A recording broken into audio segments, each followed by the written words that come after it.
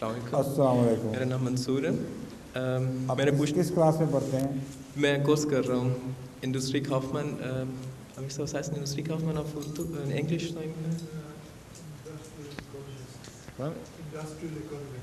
Right right हाँ Uh, मैंने पूछना था कि अगर हम एक ही आदम अलैहिस्सलाम की औलाद हैं जैसे कहा जाता है अगर तो इतनी दुन, दुनिया में इतने मुख्तलिफ़ किस्म के लोग कैसे हैं जैसे चाइनीज़ किस्म के और अफ्रीका के जैसे कहा कि एक आदम की औलाद है? मैंने आपका एक खुतबा सुना था उसमें आपने ये कहा था कि हम आदम अलैहिस्सलाम पहले नहीं थे इससे पहले भी आ चुके हैं लेकिन एक आदम की औलाद तो है ही गलत बात एक आदम की औलाद नहीं है हम।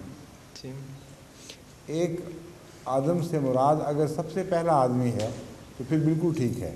हम्म, लेकिन वो आदम जो 6000 साल पहले हुआ था उसकी औलाद नहीं है सारे।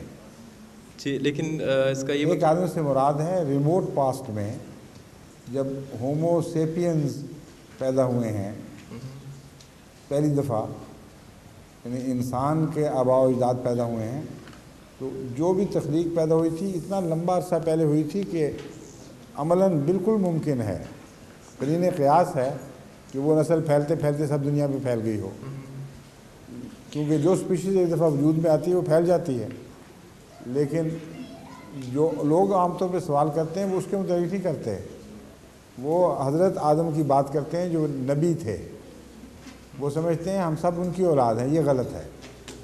जी मैंने आपका खुतबा सुना था आपने बताया था कि उसमें काफ़ी आए थे लेकिन अम, इसका ये मतलब कि पुराने आदम आदम उनमें से भी ये दूसरी नस्लें हैं जो अम, जो चाइनीज़ किस्म के लोग हैं या अफ्रीका में से जैसे हैं आदम जो भी थे उनकी नस्ल मुख्तलिफ़ जगहों से मुख्तलिफ़ किस्म के लोगों से मिली है। और फिर बाज़ इलाक़ों में जाके जब सेटल हुए तो उनके क्लामेटिक इफ़ेक्ट और मुकामी असरात से उनके अंदर कुछ फीचर्स में तब्दीलियाँ पैदा हुई हैं। वो लोग जो पाकिस्तान में कई नस्लों से नस्बता काले रंग के चले आते हैं जब वो जर्मनी में या अमेरिका लंदन में आके इंग्लैंड में सेटल हो जाते हैं तो पंद्रह बीस साल के अंदर अंदर उनके रंग बदलने शुरू हो जाते हैं। क्योंकि उनका ये समझ में आती है क्योंकि वो ब्राउन से ठीक है और इसलिए मुकामी हालात का भी असर पड़ता है। हम्म, तो फीचर्स का तब्दील होना एक मामूली बात है। एक नस्ल में एक ही मुल्क में बैठे बैठे बच्चों की शक्लें बदल जाती हैं और बाद बच्चे अपने बाज़ माँ की शक्ल ले लेते हैं बाज़ बाप की ले लेते हैं।